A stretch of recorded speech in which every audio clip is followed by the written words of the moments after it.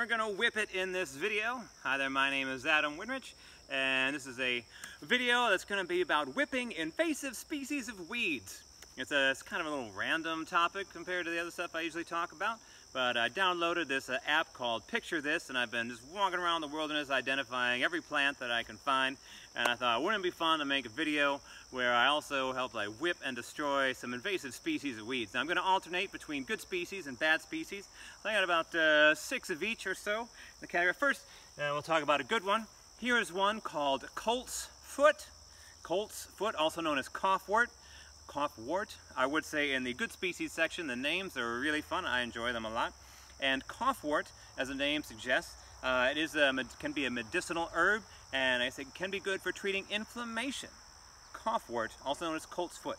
So put that one back in the good category. In the bad category, something probably a lot of you have seen. This is Virginia creeper, which is like everywhere in the wilderness. So we're gonna whip this one for sure.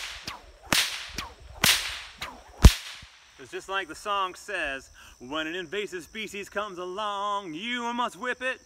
Whip it. Back to the good category. Here's another fun name. This one is called hawkweed oxtongue. Let me say that one more time because it's so fun. A hawkweed oxtongue.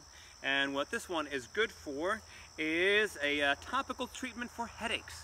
That's what I understand. Uh, the Native Americans would use that as topical treatment for headaches. And it also has a really fun name.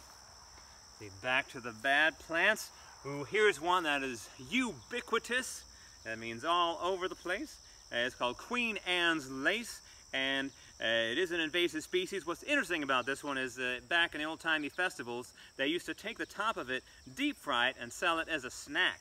But for my video right now, we're gonna whip it.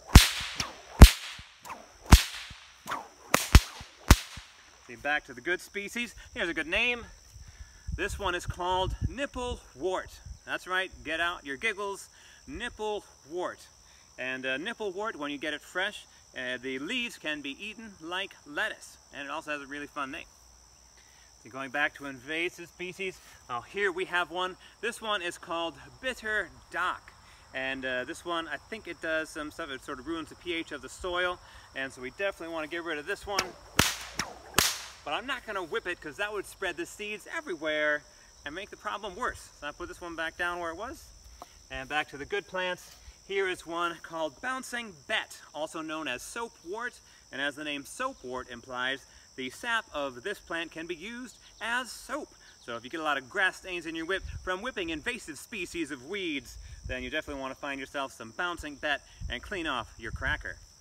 Put that one back there. Back to invasive species, we, we went from bitter dock to burdock.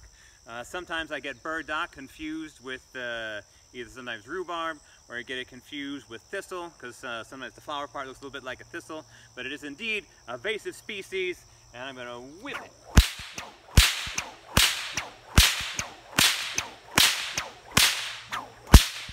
Yeah, that's a lot of noise. Moving on, oh, a couple cute flowers that uh, I also picked. Both of these are yellow ones. Here is a meadow buttercup and one of my other favorite names, bird's foot trefoil. Can be found uh, all over the United States bird's foot trefoil.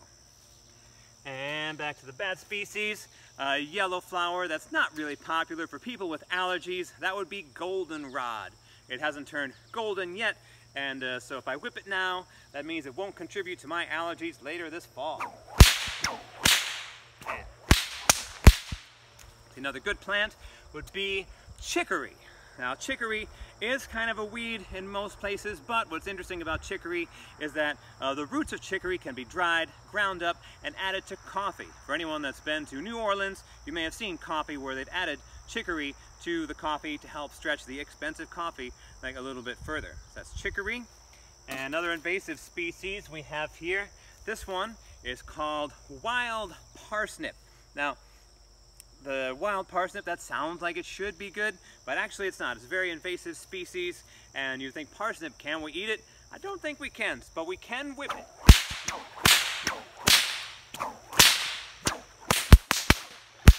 And last but not least, one more good species of plant to have around. This is the common milkweed, and what makes this species really great is that this is the only food that monarch butterfly caterpillars eat. So uh, if you look around, you see this in the uh, ditches or out in your fields. Um, you know, it's a good plant to preserve because if you like monarch butterflies, and I don't know who doesn't, this is what their caterpillars eat. That's a great plant. So there you have it. Some uh, whipping some invasive species with Adam Crack. My name is Adam Winrich. Thanks for watching.